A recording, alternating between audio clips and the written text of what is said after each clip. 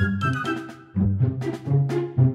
Esse é o picanço ou picanço cabeçudo, Lanius ludovicianus, conhecido como pássaro empalador. Ele se senta em locais com a visão mais aberta possível e quando avista sua presa, mergulha para poder capturar. Suas presas podem variar desde insetos até pequenos mamíferos, anfíbios e répteis. Mas o mais legal vem agora. Como ele não consegue engolir inteiro, ele vai lá e espeta as presas em espinhos ou cerca de arame farpado para poder ir comendo aos pouquinhos. Deixa ela secar e vai voltando para ir petiscando. E não é só isso. As presas espetadas servem de presentinhos para atrair fêmeas para o acasalamento. Inclusive, ele espeta as presas, mas ele decora com folhas e penas para o presente ficar mais atrativo ainda. Quanto melhor e mais bonita a presa, maior a chance de rolar o acasalamento. É bizarro, mas até que é romântico, né?